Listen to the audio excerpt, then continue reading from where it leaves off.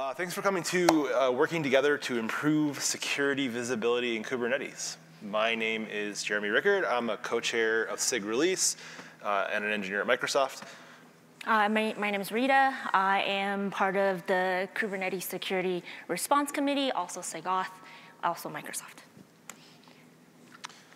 All right, um, so thank you for being here on a Friday. Uh, I know it's been a really long conference, but thank you for being here. And you must really care about security if you're in this talk. So I just want to thank everybody. Um, but also the most important thing that you probably could get out of this talk is if you see a security problem, please, please, please work with us and don't disclose it publicly.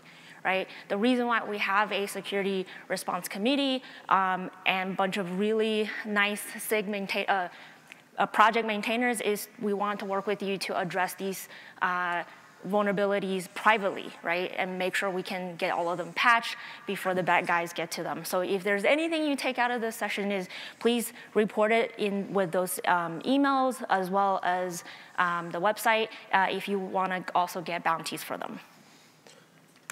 Okay, so we're going to start off by talking about how SIGs work together to help achieve security for the project and, and provide visibility into that. Whenever a vulnerability is disclosed, the SRC is going to work with a bunch of other SIGs to help fix those things.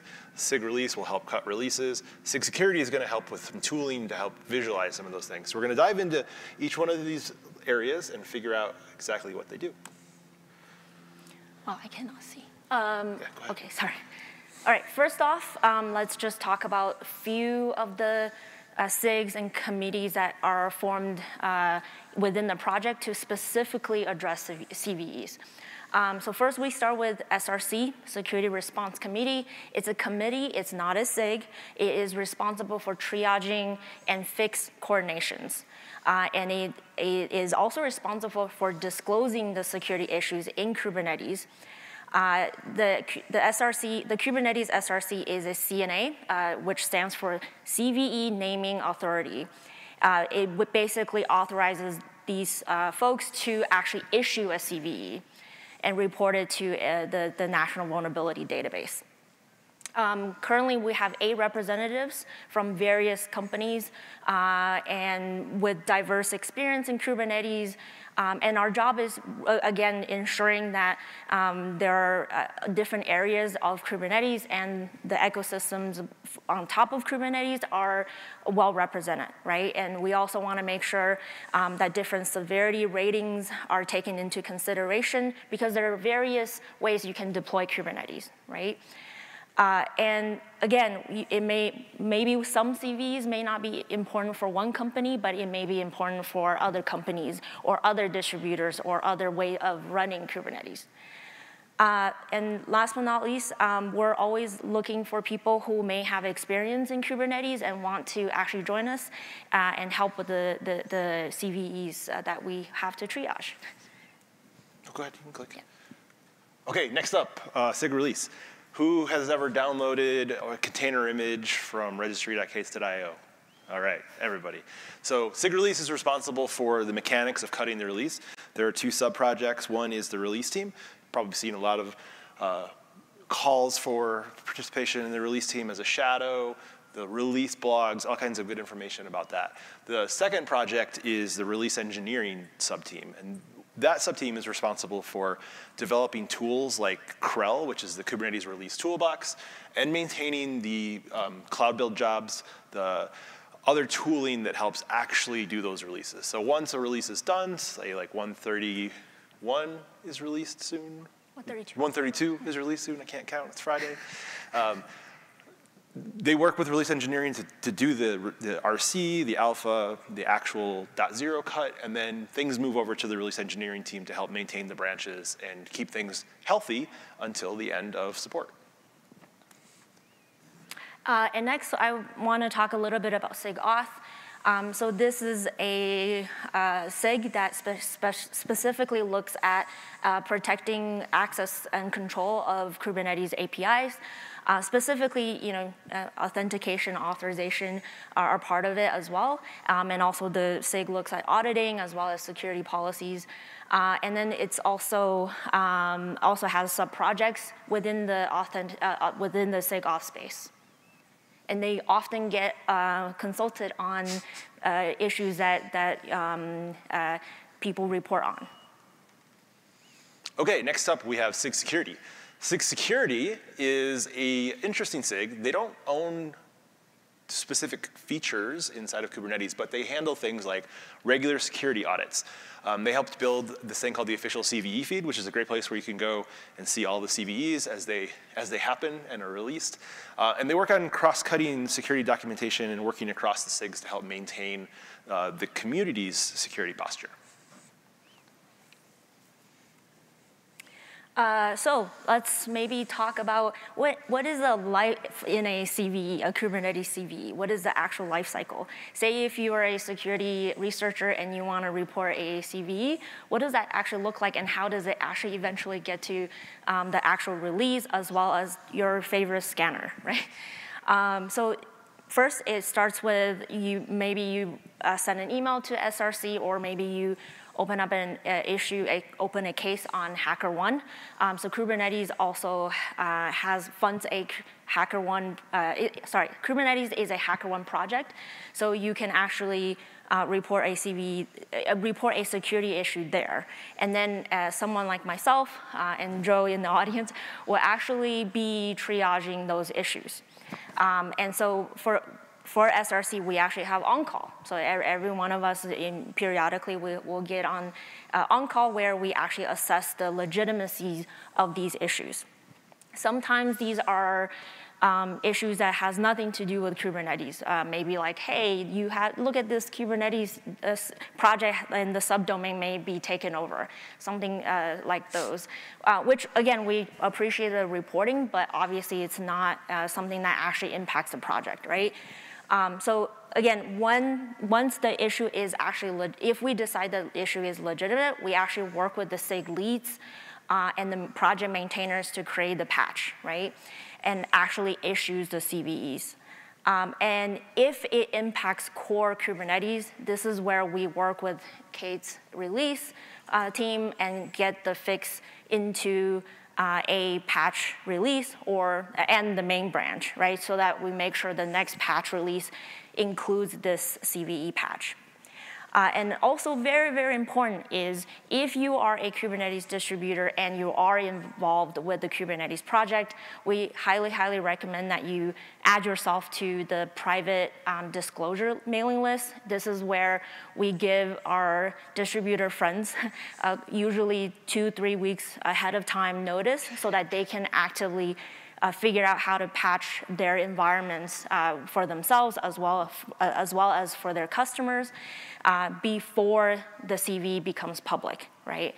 This is really, really important because on, you know, when the issue, is, sorry, when the CV is public, we want to make sure, you know, bad actors can't get to people's clusters and do bad things, right? Uh, so then we, again, on embargo, uh, um, pub public day. Uh, we, we actually disclose it, uh, and then we work with the um, SIG release to get it out. Uh, and then once the issue is created in the GitHub repo, it's public, and this is also where we push the um, CV details to uh, the NVD database. Um, uh, and describe what are the components that are impacted, and then the same information then lands on the official feed. Mm -hmm. So why don't we take a look at how what that actually looks like? Let's give that a shot.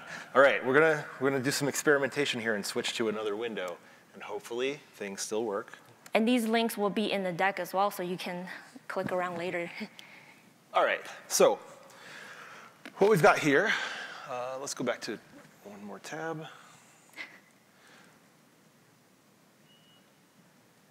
To here. Okay, so uh, Rita mentioned that uh, when it's time for the CV to be um, announced and, and released, the first thing that happens as part of that process is obviously a fix is done. That happens while the embargo is in place and it's distributed to the distributors.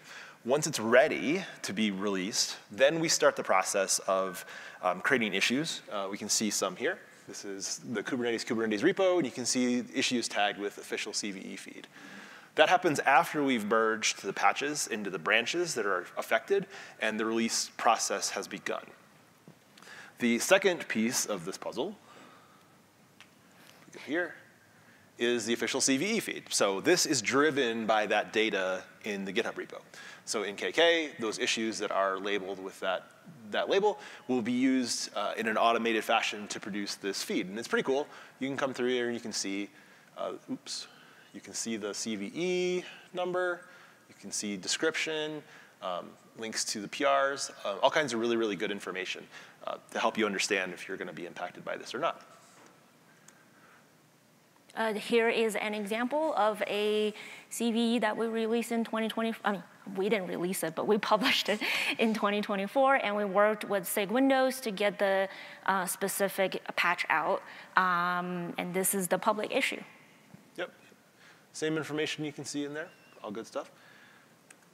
Okay, so how do we uh, get things into the release notes, and how do we start the process of getting all of the data out to where it needs to go? Well, the first thing that happens, obviously, is the patches are going to land. But as that process is happening, we uh, have a tool in krel that I mentioned earlier that will generate release notes for a given release. You've probably seen that before. Lists all the cool new features and bug fixes that have happened. One of the other things that will land in there is the list of CVEs that are being fixed. And this is a YAML file that gets injected into a Google Cloud Storage bucket that gets consumed as part of the actual release. So as we're generating the release notes after a release has been done, uh, it will look for a file like this that has metadata about all of the different branches impacted. So we've got 130 here, 129. Um, a lot of similar data, but this is crafted by somebody from the SRC as they're going through that process of uh, telling us which mm -hmm. things need to be fixed. That again lands in the release notes. Obviously you can find those here. And then SRC moves yep, into? This is the same information we then publish to uh, the NVD database. Um, you might ask, why do you share these details? Well, I bet you've gotten false positives from your favorite scanners.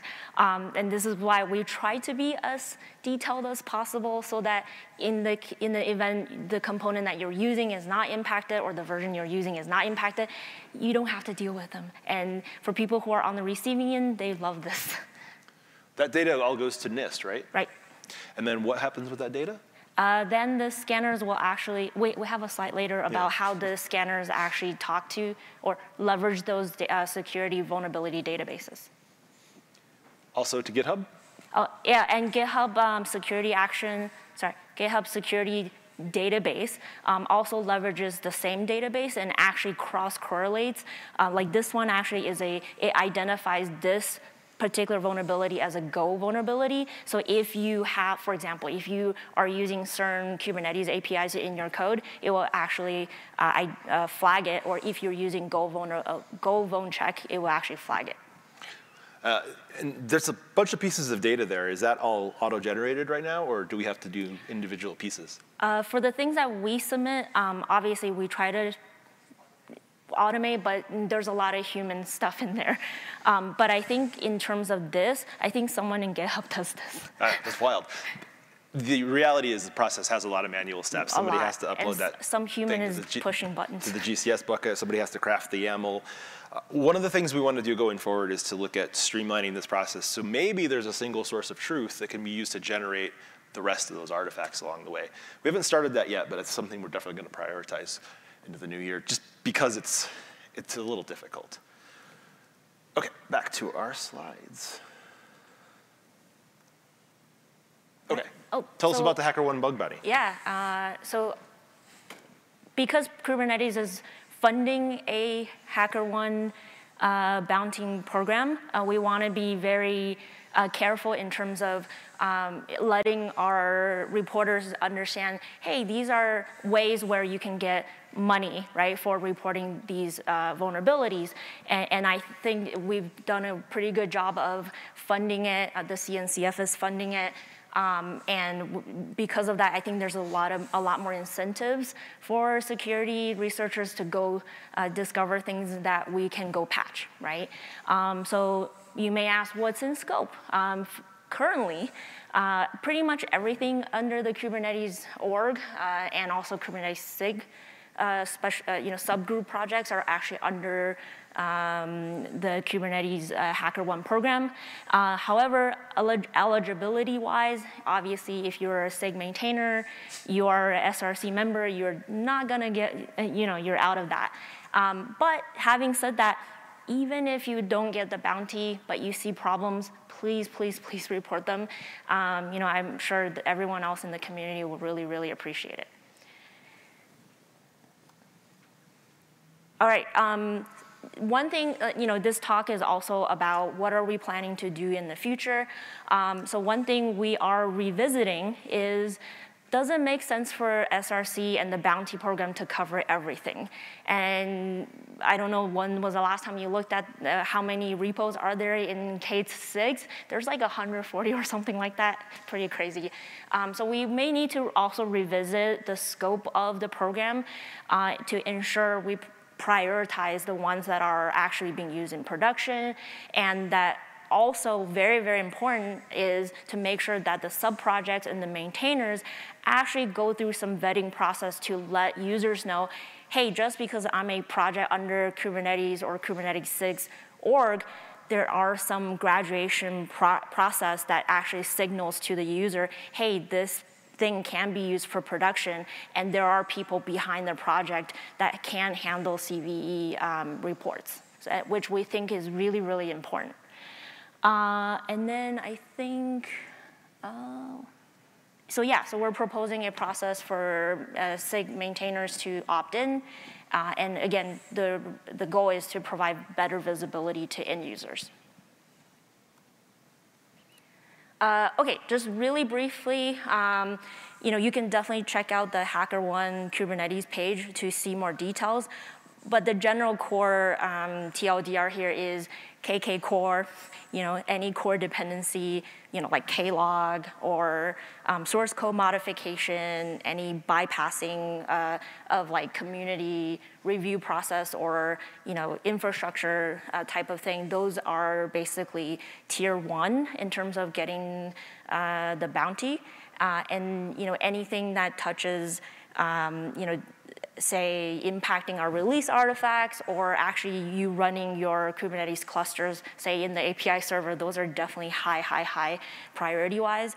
Um, and this is also where we look at the, um, depending on, you know, is it beta, you know, GA or alpha, this also determines uh, the bounty that you, you are qualified for. Uh, and then again, there are other tiers, uh, and as you can see, the GA beta features are uh, quite a bit of a criteria. Um, and then also, you know, is this in-tree Kubernetes or is this a sub-project, right? Uh, again, there's way more details on the website. Okay, Rita, do we issue bug bounties for dependency bumps? No. Okay. So patch releases are um, something that is an important thing to realize when we make them and any change that goes into them can have a lot of impact, right? We want to make patch releases easy to consume, and we want to make the security fixes easy to consume without bringing a lot of extra stuff along with them. So if you look at the cherry pick guidelines today, they're pretty strict, and we actually just made them a little bit more explicit about what qualifies for a backport and what doesn't. TLDR, unless it's a security fix, we're going to be really, really strict about backporting things dependency updates that will just silence Trivy or Grype or Twistlock or whatever, um, those are generally not going to be something that we will take back. And the reason for that is every time we cherry pick something back to a previous branch, we run the risk of adding a regression. So Jordan Liggitt has done some really great analysis on regression over time. There's a spreadsheet, uh, we'll have a link for it, but there's a lot of data in here, and you can see the trend is not super great for some releases. Uh, 119 ended up with 33 regressions by the time it was out of support. 33 times code was backported that introduced new bugs, new breaking behaviors. So we want to work on enhancing that, that criteria about what we take back. And, and scanners are definitely going to continue reporting those dependency pieces. And, and, the really interesting thing is that sometimes those aren't even called, but they're just found by the scanners. Yeah. So tell us how the scanners work. Yes, uh, I know we are all bugged by bugged by scanners, um, but I I mean, at least before I worked with Jeremy on all this, I actually didn't understand how scanners worked, right? Um, so I just want to briefly uh, kind of um, talk about that. Um, so there are many types of scanners. Um, specifically, there's static code anal analyzers, you know, obviously container image scanners, runtime detectors, right? So you mentioned Trivy, Falco, uh, Go, Go check, many, many, right? And specifically, here we're talking, a lot of times we're talking about container image scanning, right? Now, when these scanners actually inspects the, the image, what it does is it looks for OS packages, libraries in all the different layers of the image. And it actually correlates with specific Kubernetes components like API server, kubelet, whatnot. And it will show the impact and the fixed version uh, as part of the, the output of the scanner. Um, and earlier, as I mentioned, um, many of the scanners actually uh, gets their data from many of these vulnerability databases. Um, these are just some, but not all. Um, very importantly, this is why we push our CV data to NVD and obviously GitHub security advisories. Um, and then also Oval. A lot of people don't know that um, a lot of vendors push uh, structured data for th their vulnerabilities um, to, the OVAL, to their OVAL database because they're authorized to publish that information. Uh, and again, what we like about the OVAL database is because it provides more um, accurate and re reduce the false positives. Uh, and obviously, there's also OS-specific um, security databases. Uh, and so what the scanners uh, do, they, they basically correlate all that data from different uh, databases and and produce the lovely results that you all get for your, for your daily scanning. Uh, and last but not least, recommended practice, right, is um, if you are running your own Kubernetes components or CNCF components, we highly, highly recommend that pick your favorite scanner or maybe scanners, depending on your use cases. Um, run, make sure you have continuous running, uh, continuous scanning on your CI/CD pipeline. Uh, make sure you get up-to-date scanner, scanner signatures and rules to make sure you get the latest from these databases. Um, but also think about publishing your own uh, OS packages and publishing your own CVE data to the databases that, that I just talked about. I'm pretty sure you've thought about this, like, I'm pretty sure this is a false positive, but how can I tell the scanners to not do that? Um, so those are kind of things that we do uh, at Microsoft as well. All right. So apologies if uh, whoever I replied to here is in the room, but uh, oftentimes we get issues like this asking us to bump dependencies uh, or bump Go versions because things are showing up as vulnerable by Trivy, for example. We often reply and say this. Uh, so what can we do to help people have more visibility into the, the actual state of what's going on? I, I love how he just walked in. the, the, guy, the guy on the issue. Ah, perfect. Ite. Nice to see you.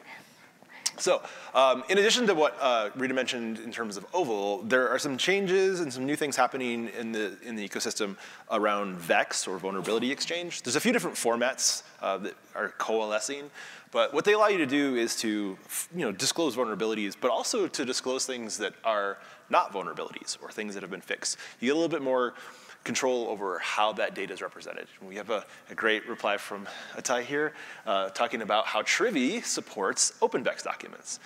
Um, a number of scanners are starting to look at that uh, as a, another way to enhance the, the picture of your, your vulnerabilities. So we have been considering, I didn't include the reply here, but we have been considering that for a little bit. Can we start to produce VEX documents for the Kubernetes releases. This is kind of outside of the scope of the SRC, obviously, because they're not real dependency or real vulnerabilities. Sometimes they are. We do bump those things, and we can report that as well. But uh, this is another piece of data that we can provide as part of this process. So there's a couple of different issues here. So, um, first is to just generally set up a VEX document that's available. And the second one's more specifically about the implementation. One way we can do this with Go in a fairly automated manner is to use Go Vulncheck. It's another tool uh, that does a little bit deeper analysis to look at how functions are actually called and how libraries are used to better understand how uh, vulnerabilities in a dependency that you might have actually might impact your code. So let's take a look at what that might look like. So here is an example of a statement uh, in OpenVex format regarding a Go um, vulnerability. So it's CVE 2024-34156. And you can see the status is reported as not affected, and the justification is vulnerable code not present. So the code in the Kubernetes codebase that might call this library in a way that is um, something that would cause the exploit to be uh, present isn't found when it does the analysis of the code paths. Uh, so Go Vulncheck will do this automatic, auto, automatically for us as an output. Um, it's pretty cool. There are some rough edges. We have found through our testing some, some false positives, some false negatives. Uh, it uses the, the Go Vuln database, uh, Go Vuln DB, um, to have a lot of this information. They're pretty good about updating it, so we've been able to uh, submit some, some issues and have things corrected. But uh, one thing that's kind of interesting here is the ID. So we have uh, package OCI kubectl uh, with the digest that goes along with that. This isn't generated by Go Vulncheck right now because it's, it's analyzing the code. It doesn't have a good way to map to what container image we're looking at or what release we're looking at. But Trivy needs this. So we have some proof of concept post-processing of this to generate uh, that, that wrapper. Or not really wrapper, that linkage. Here's an example of one that is affected. So you see it's missing the other pieces. Um, the code to call this uh, is present, and this could be something that is exploitable. So this one we would probably want to fix. Okay, so we're going to run Trivy on the Kube API server 129.0 image. And we can see uh, most Kubernetes images are going to have two Go binaries in them. One is Go runner, and then the actual component that's going to get, get run. Go runner is the entry point, and it's going to invoke and handle logging and those good things, here we can see there are 12, uh, one critical in GoRunner, and one critical, um, 13 medium, a few others, 18 total in Kube API server. So how many of those are actually present in the code path, and how many of them would be excluded by providing a VEX statement? So we run it again, and uh, same image, and we're gonna pass uh, this extra command line argument VEX with uh, the JSON file that's generated for that. And we can see now it's 9 and 12. So we went from 12 and 18 to 9 and 12. So that's kind of cool. I think um, it's good to share some of that information. Obviously, there's better things we could do and make, you know, clean this up and actually fix them in later releases, and we would probably do that. But this doesn't show you what was excluded. You might want to know that as well. So Trivy's pretty cool about that. And we'll show you which ones were suppressed. And it'll tell you exactly why it was suppressed and which source of truth kind of provided that. So that's, uh, I think, a really useful thing that we could start to produce. It's another artifact. We need to figure out how to get that into the workflow so that you know, it's not me sitting at my laptop generating this with Go Vulncheck. We do have that as part of some pre-submits. It's not doing anything with the, the data quite yet. It's just a check.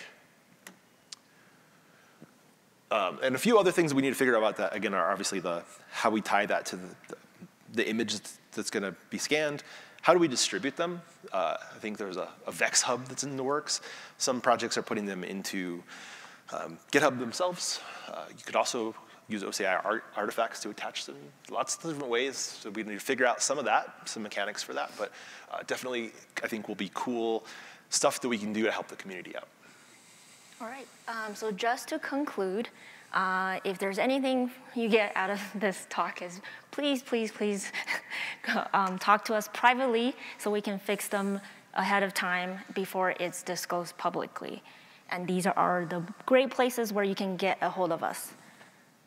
And some other takeaways, uh, you know, things like uh, vendors. If you are shipping your own binaries, um, you should definitely look into uh, creating your, own OS packages, creating your own container images.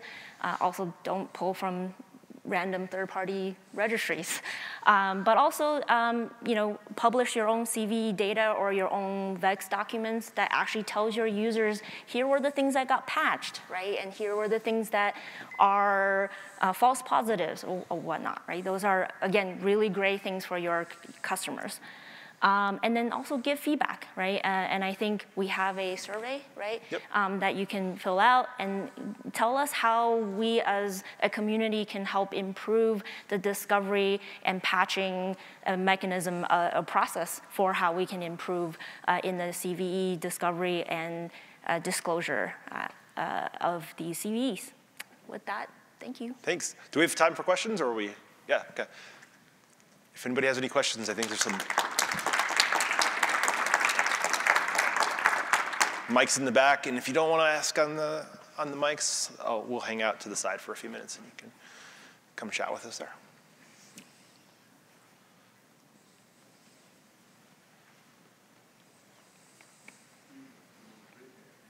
And please keep your cluster upgraded.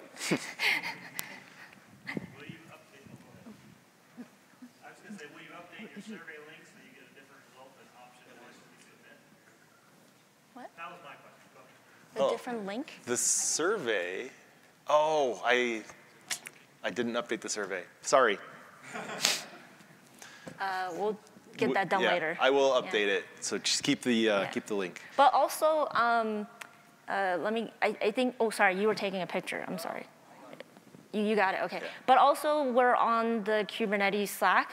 Um, wow, it's so hard to get back there. And those are, that's how you can get a hold of us. Um, even if we can't answer a question, we'll try to talk, get someone who can help. Um, but also that's another good way to um, give us feedback. Yeah, I'll, and I'll totally update the survey today after this. Forgot about it. Wonderful talk.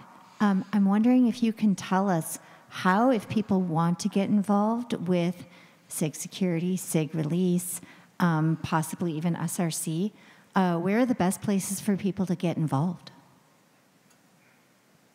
I think the, the best place is probably to start with the community meetings for each of those projects. And you can find information about the SIGs in the Kubernetes community repo, so github.com slash Kubernetes slash community. You'll be able to find a README or Markdown file for each of the SIGs. It'll have meeting time and mailing lists. Um, the Slack channels are also a really great place to come and ask questions.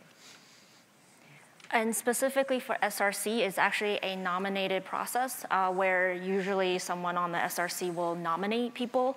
Um, and usually we look at you know the type of experience this person's had, um, and and basically uh, I, I, think there's like a voting process. Uh, and uh, and again, uh, I think even even if you're not in the SRC, I think there are plenty of things that we can we really need help with.